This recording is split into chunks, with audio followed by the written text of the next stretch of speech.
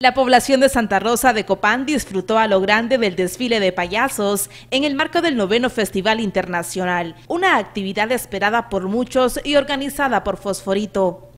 Este desfile de comparsa, eh, compartiendo con todo el pueblo de Santa Rosa del Cerrito al Parque Central, luego vamos para el gimnasio municipal, ah, tenemos unas actividades bonitas allá, paya fútbol, un encuentro de fútbol entre los payasos, show infantil, y por la noche tenemos show de gala en la Casa de la Cultura.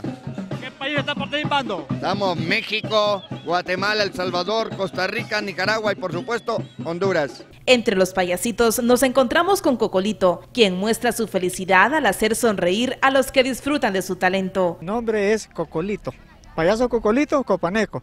Y entonces eh, ya vamos a compartir con todos ustedes este arte musical para darle a conocer a toda la población que las payasos centroamericanos están aquí, los hermanos centroamericanos, para poder hacer un, un bonito espectáculo y así llevar alegría a los niños, ¿verdad? Que tanto lo necesitan.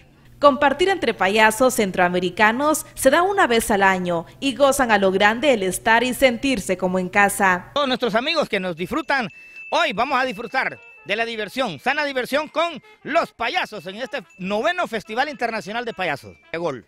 El Payegol es donde nosotros vamos a jugar fútbol, así como nos apasiona y como nos gusta estar pintados, disfrutando con toda nuestra niñez, desde el más pequeño hasta el más adulto.